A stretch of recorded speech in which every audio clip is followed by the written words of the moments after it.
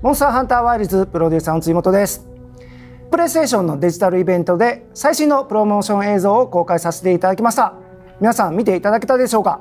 まだの方はぜひ見ていただけたらと思っております。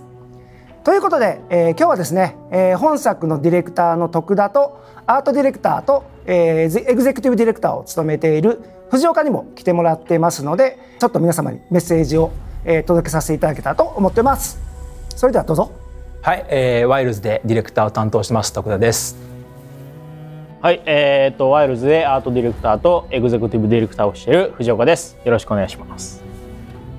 ワイルズの方ですけど、あのー、まだまだ、えー、実は開発中でして情報、えー、少ししか出てないのであの多くは話せないんですけど、まあ、ちょっとお二人から今どんな感じで作ってるかとか皆さんちょっとこういうところこだわってますよみたいなちょっと一言ずつでももらえたらと思いますのでじゃあ徳田の方からはい、えーまあ、プロモーション映像でも見ていただけたかと思うんですけれども、まあ、今回の環境がどんどん変化していってで時にはそのモンスターが群れたりだとか今まで以上にちょっと生態系の攻撃的な側面みたいなものも体感していただけるような、えー、作りにしていこうと思って開発事業というのを頑張っているところです。ゆうかさんかはいまあ、徳田がそういうふうにやりたいって言ったのもあって、まあ、それをモンスターハンターらしくどう描くかっていうのはかなり今回こだわってましてまあお話まあストーリーですね。ストーリーとかそういったまあアクション部分もそうだけどとにかくその途切れない。で没入感をどんどん出していくっていうところは、まあ、シリーズの中でも一番こだわってやってますんでまあそういう世界観が好きな人がアクションが好きな人いろんな人にまあ最高傑作だと思ってもらえるように、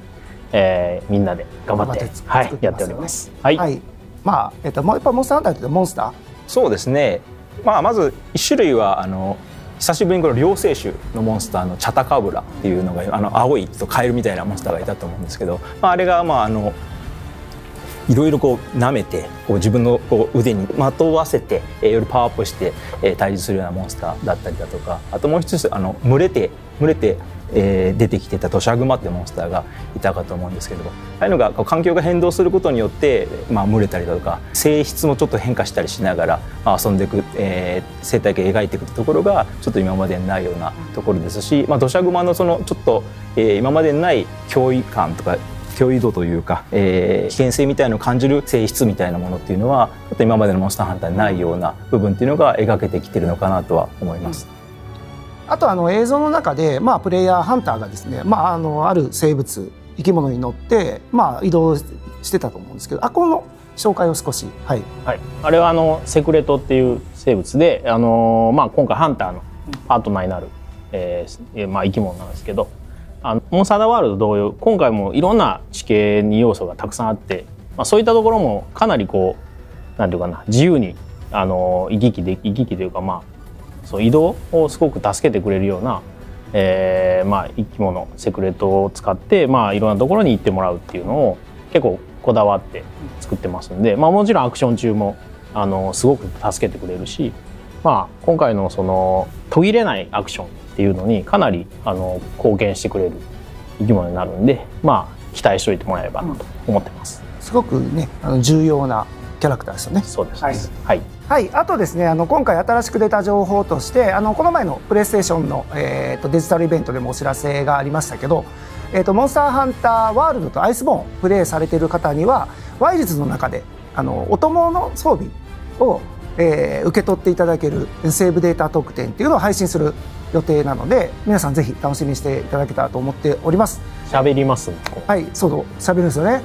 お供も喋るしハンターも喋るんです今回は。はいというわけであの皆さんあのいろいろ、えー、気になることもいっぱいあると思うんですけどあのまだまだ開発中であの今もちょっと開発抜け出してこれ収録してますのでちょっと早く戻って開発の方進めないといけないので、まあ、あの映像としてはそろそろ終わりにさせていただきたいと思っているんですけどもう一つ、えー、皆さんにお知らせがありまして6月8日にアメリカのロサンゼルスから、えー、オンライン配信されるデジタルイベントのサマーゲームフェスト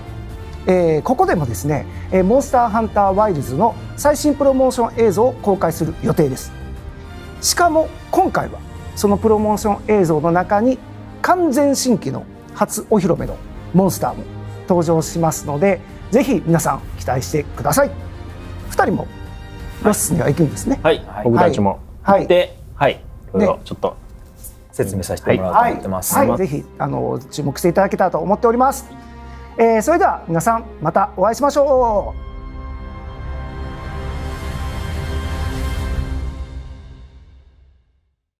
ここからは6月のモンスターハンターシリーズの情報をお伝えします。フルボイスで蘇るモンスターハンターストーリーズは6月14日に発売予定。